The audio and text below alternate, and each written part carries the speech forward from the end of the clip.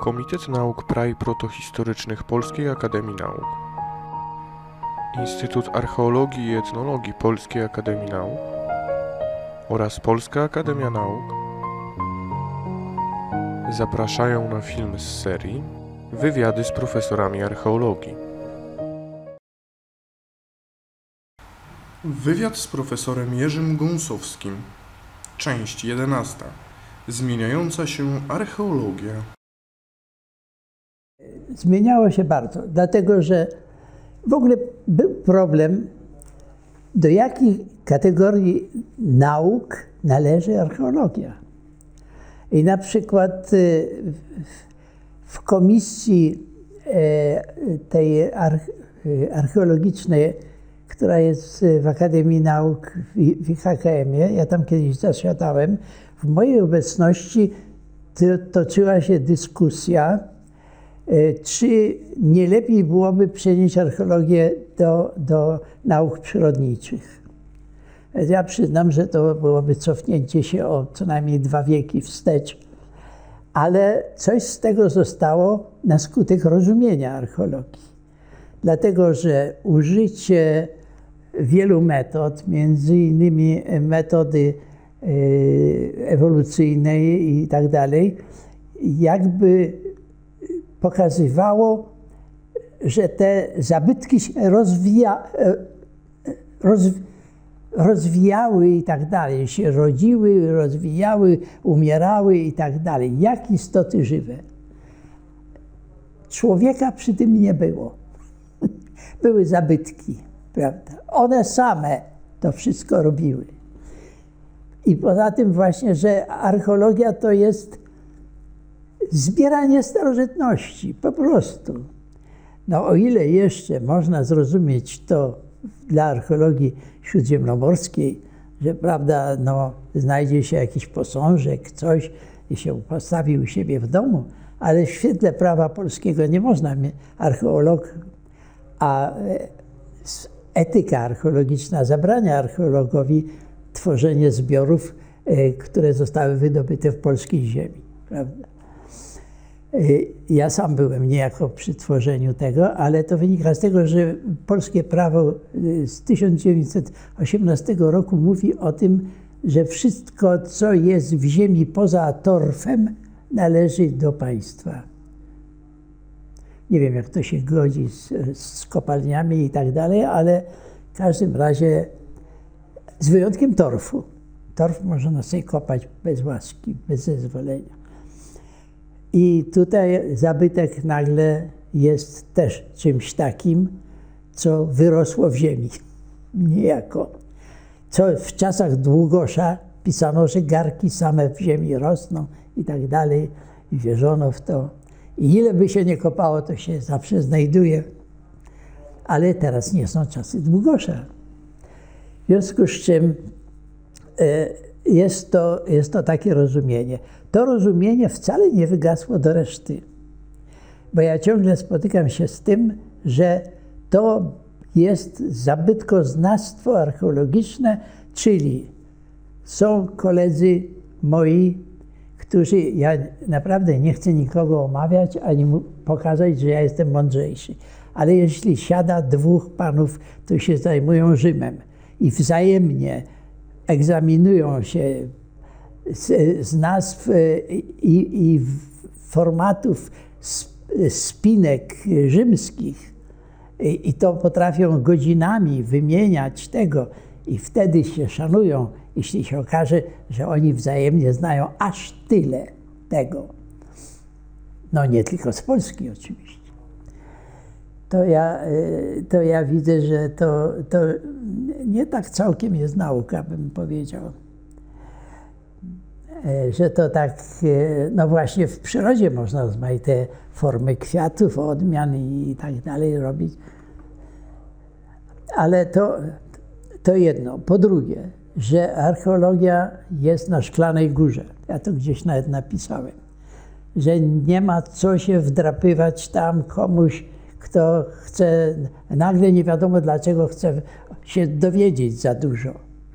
Bo to my wtajemniczeni to wiemy I im bardziej to za wiele powiemy, tym bardziej będziemy uważani za uczonych. Wspominałem o tym wcześniej. Czyli, że to wszystko stawało na przekór archeologii i dlatego ja bardzo szanuję Gisztora, który z zewnątrz będąc zrozumiał pożytek archeologii w tym momencie, kiedy ona stała się nie tylko pomocniczką historii, ale historia stała się uzupełnieniem archeologii.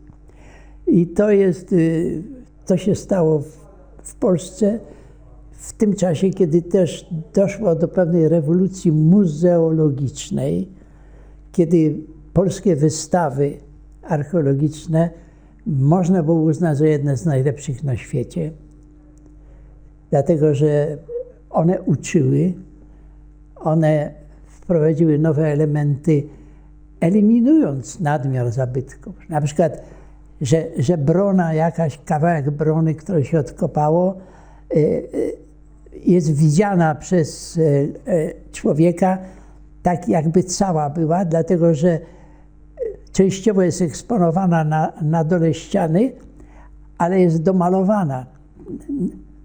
I pierwszy rzut oka widzimy całą bronę na przykład czy, czy takie inne, inne przykłady tego typu.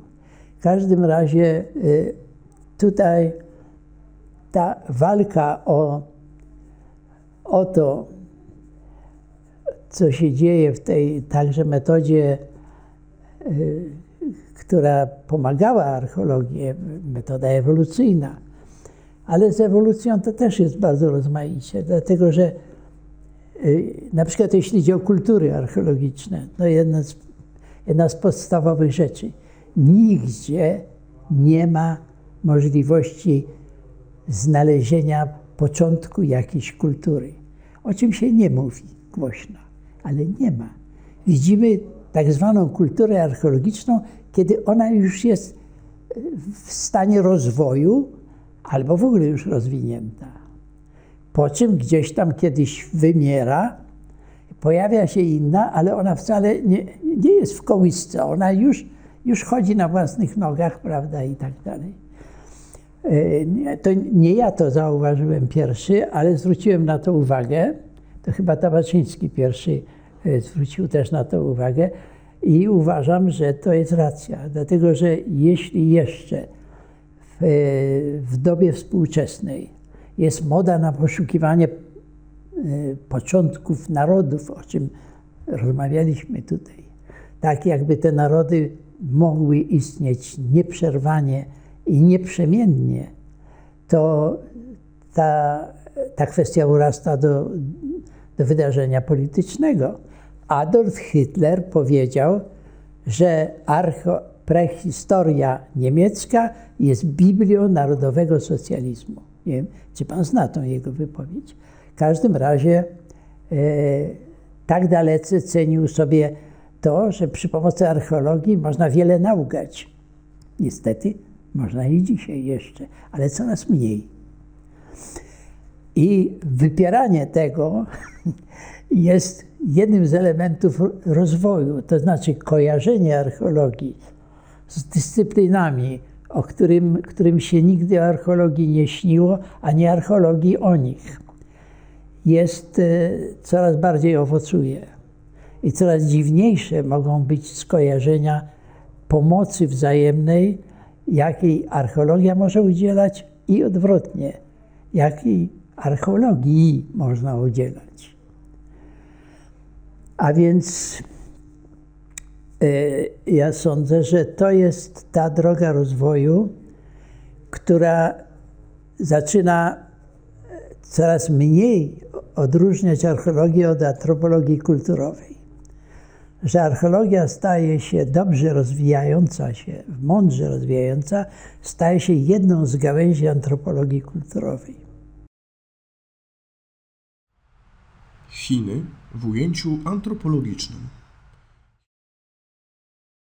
Tak się stało, że w moim życiu, e, gdzie było trochę przygód, e, kiedy przestałem być dyrektorem ośrodka, e, dyrektorem Instytutu Archeologii tutaj, to zająłem się sinologią. Myślałem, że się nauczę chińskiego. Nawet sprowadziłem z Chin taką nauczycielkę specjalnie szkoloną w ośrodku do nauczania cudzoziemców, i która nie dość, że była ładna, to jeszcze bardzo mile traktowała studentów, jak w Polsce się nie traktuje. Z uśmiechem na twarzy, delikatnie. No bo ona uczyła po angielsku, niestety, bo takich tam ustawili, ale były podręczniki, wszystko. Tylko ja okazałem się za stary, żeby nauczyć się chińskiego. Zwłaszcza, że nauka chińskiego w mowie to nie jest nic strasznego, chociaż są cztery akcenty na każde słowo, wtedy znaczą co innego, ale pisanie wymaga to, że kreskę tą się stawia pierwszą, a tą tu, a tą następną dopiero później i tak dalej. Już teraz nie dla mnie. Ale zorganizowałem e, kurs, na który prowadził e, przewodniczący takiej e, mm, komisji, nie komisji, tylko jakiegoś towarzystwa polsko-chińskiego, który nau, naucza sam. Przyjeżdżał do Półtuska i miał bardzo dobre wykłady na temat kultury chińskiej. Ja dużo czytałem na temat kultury chińskiej po francusku, po angielsku. Poduczyłem się, tylko że ubolewałem, że nie, nie znam języka. Prawda? I, e, I co się okazało? Że tylko Chiny są cywilizacją jedyną na tym globie, która nieprzerwanie rozwijała się od y, czasów zamierzchłych. E, przynajmniej od czasu, kiedy powstały zaczątki rolnictwa. Nieprzerwanie do dziś. I jest to jedyna taka kultura na świecie, bo inne, nawet żeby się pięknie rozwijały, to albo upadały, albo znikały z innych powodów. I w Europie całe pradzieje są zamkniętą księgą. Wszystko trzeba na nowo odcyfrować i do tego służy archeologia albo gdzieś tam zachowane jakieś źródła pisane. Natomiast w Chinach, które były podbijane przez Mongołów, a to, a tam, ta cywilizacja zmieniała te ludy, które podbijały. One się stawały Chińczykami, a nie Chińczycy stawali się tymi, którzy ich podbili.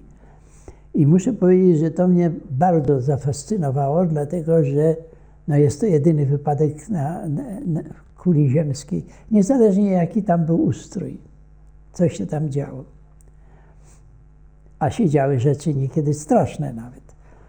Ale ten typ kultury promieniował aż na daleką Syberię, skąd czasami pochodziły małżonki e, do e, haremu cesarskiego.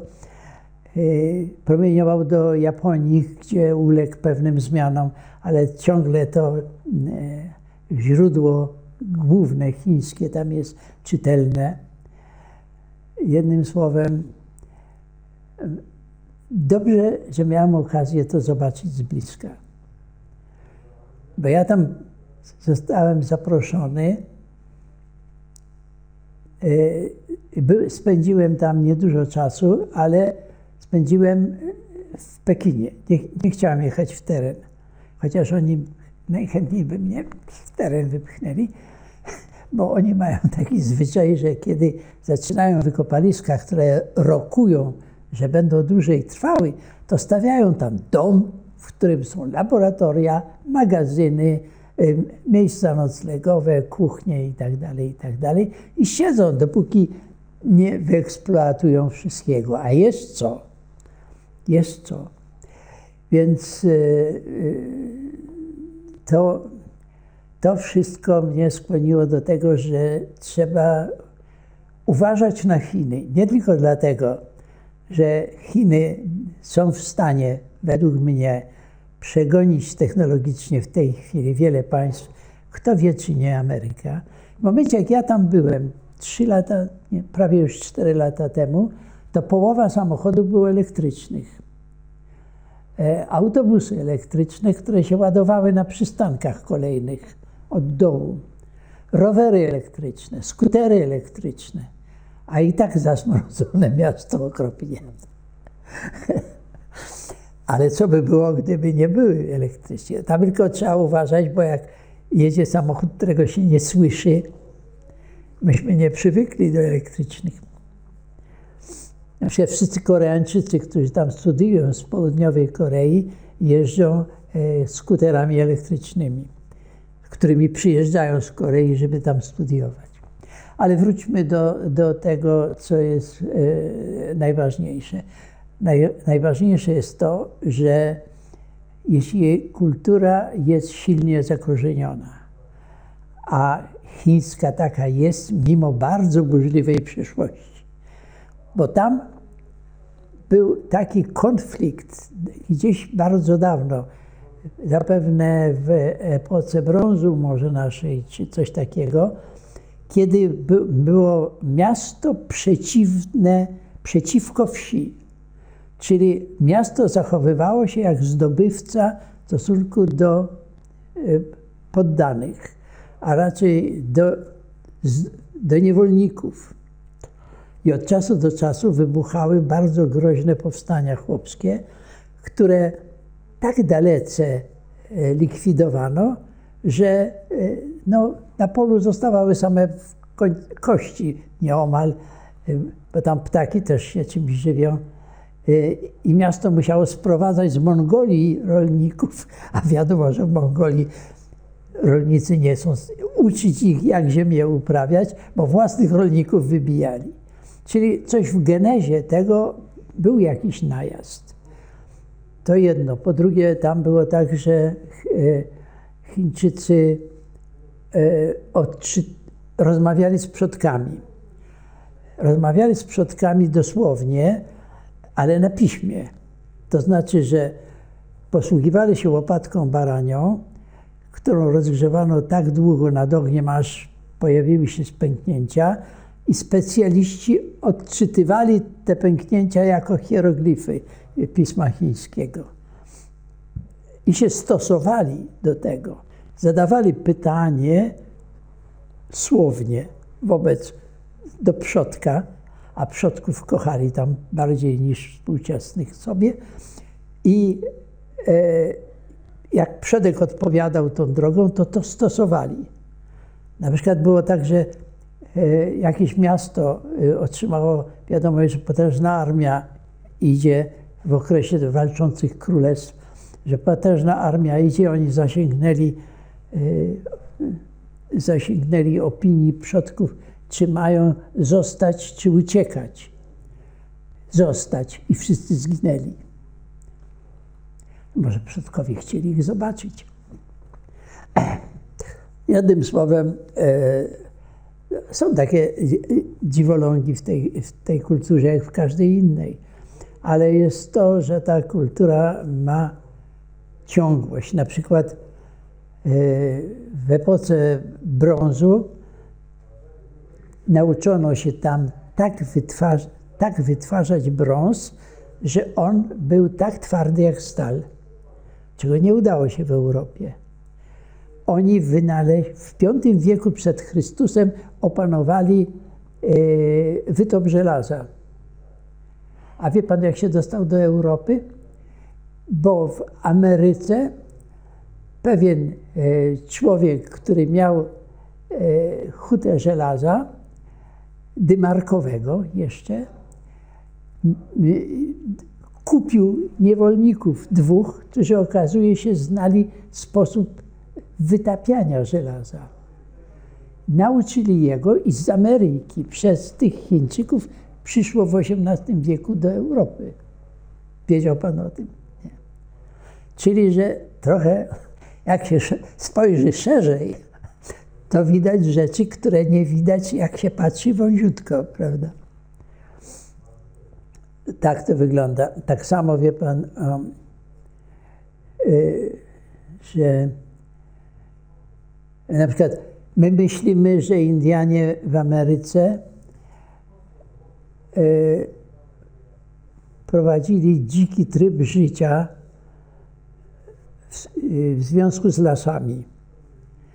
Okazuje się, że prowadzili gospodarkę leśną, która polegała na tym, że tak zręcznie wypalano niektóre drzewa, żeby zapewnić możliwość poruszania się w lesie, żeby zwierzyna się poruszała, bo wtedy łatwiej, łatwiej ją można upolować. I Europejczycy, kiedy po raz pierwszy dotarli do Ameryki, to widzieli nad, les, nad, les, nad lasami dymy ciągle. A to Indianie właśnie gospodarowali w tym lesie.